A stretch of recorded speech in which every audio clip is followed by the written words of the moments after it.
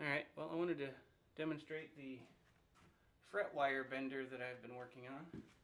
Um, it's a half inch piece of aluminum with a slot milled. I'll show you more about that later. There's two stationary bearings down here with some aluminum. They're just regular flange bearings with some aluminum uh, tires, wheels, I don't know what you'd call them, but with some grooves in them so that on the fret wire you've got this tang down here. That's probably not going to focus. This tang here, see it's sort of, it's hard to, impossible to see, but it's not just a round wire. There's this flange that's kind of ribbed. So that's got to ride somewhere. It rides inside of these grooves.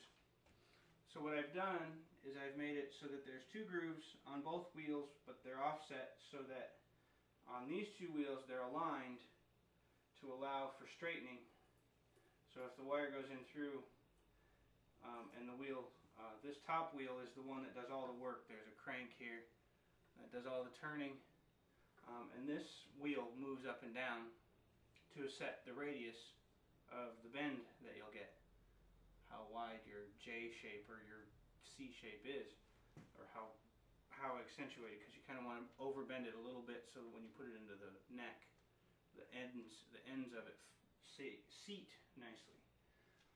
So I did it so that I had two grooves in each wheel so I could flatten or curl uh, two sets of wire at the same time.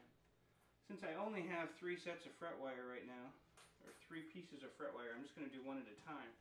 But this should give me a radius uh, just right for my strat. And we'll get it started in the groove here.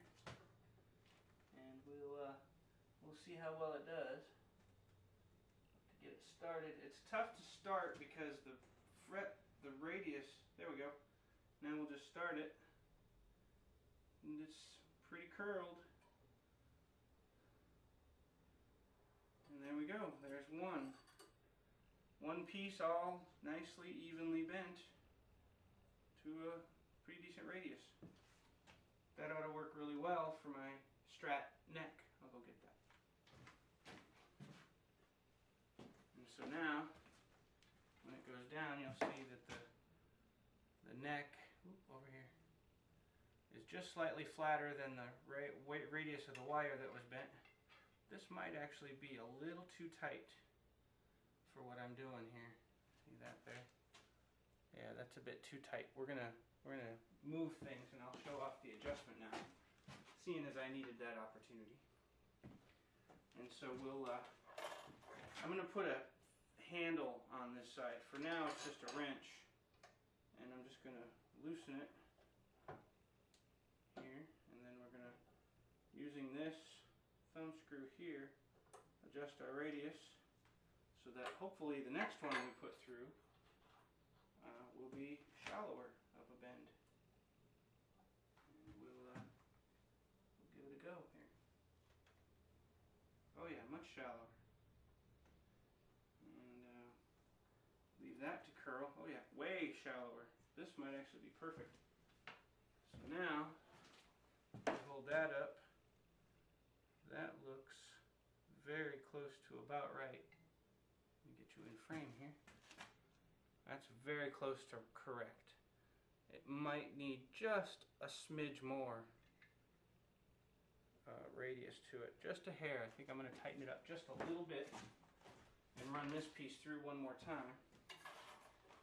So the, the key is tighter means tightening, looser means loosening, which sounds obvious, but when you're sitting here trying to adjust things, it's not obvious.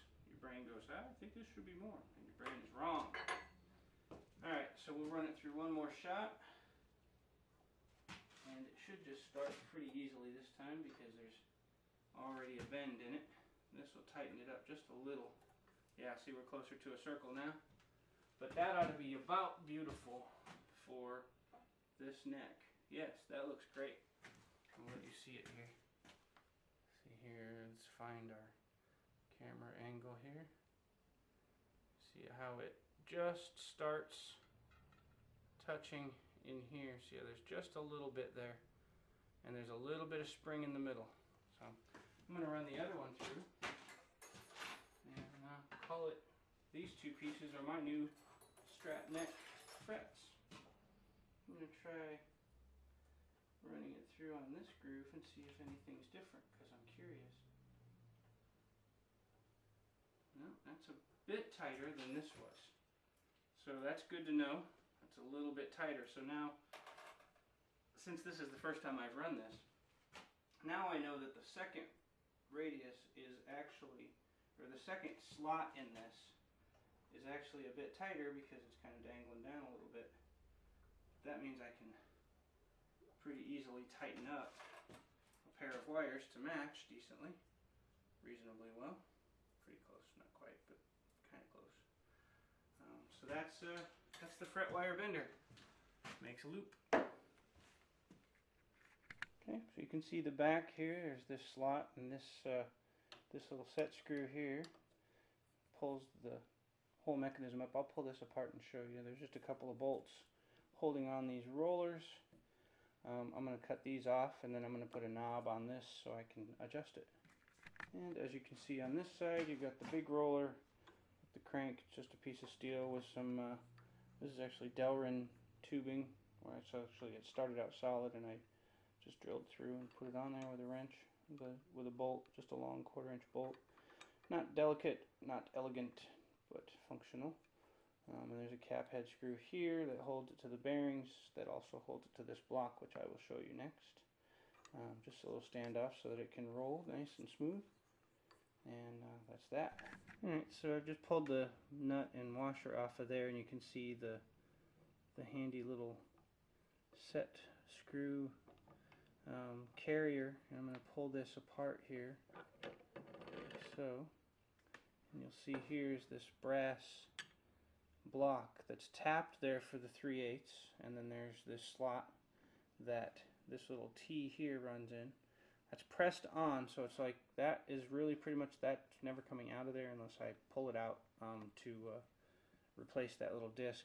I went around and around about how to get things to seat nicely into this uh, let me get a grip on it here get things to seat nicely into this little slot here so that it would hold but yet allow it to spin. Um, there's a bit of backlash in there, but it's holding up pretty well. I may improve the design a bit if it bothers me, but I think what's going to happen is I'm going to find the one setting for most of the guitars that I build and uh, never touch it again, hopefully. Unless I overbend and have to straighten it out someday, which I hope doesn't ever have to really happen. But now, with this tight pretty well, can come up here and pull this up and that'll elevate the elevate the wheel back here so that it sets the right gap for the right size. Someday I might throw a pin or something, an indicator to show what radiuses I'm after, but for now it's going to be a try it and sneak up on it kind of thing. Um, and then I'll just tighten it down with a wrench and everything stays put right the way it should. Nice and snug. But there we are. Thanks for watching.